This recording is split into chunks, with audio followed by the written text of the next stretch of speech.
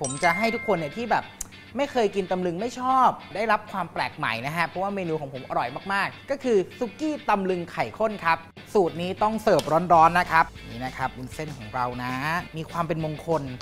เส้นจะต้องยาวๆไม่ขาด นานาได้แรงบันดาลใจมาจากแกงจืดตำลึงหมูสับค่ะ นานาจะชวนคุณทำห่อหมกตำลึงหมูสับกันค่ะ เต็มปากเต็มคำนะครับ ทุกวันพุธเวลาบ่าย2โมง45 นาทีทางช่อง Workpoint TV หมายเลข 23 นะครับ